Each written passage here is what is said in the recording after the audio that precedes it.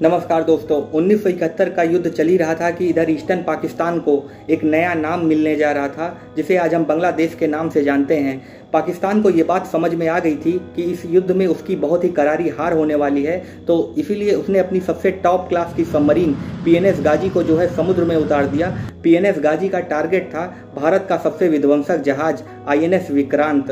दोस्तों आईएनएस विक्रांत जो कैपेबल था किसी भी युद्ध को भारत के पक्ष में डालने के लिए जब ये बात इंडियन नेवी को पता चल जाती है तो उन्होंने एक प्लान के तहत आईएनएस विक्रांत की जगह आईएनएस राजपूत को ले आकर खड़ा कर दिया था और आईएनएस राजपूत ने पीएनएस गाजी को देखते ही जो है एक डेप्थ चार्ज किया और रात बारह बजकर पैंतीस मिनट पर विशाखापट्टनम के पोर्ट पर एक जोरदार धमाका होता है। वो धमाका किसी और चीज़ का नहीं, बल्कि आईएनएस राजपूत द्वारा दागी गई उस मिसाइल का था, जो पीएनएस गाजी से जाकर टकराई थी।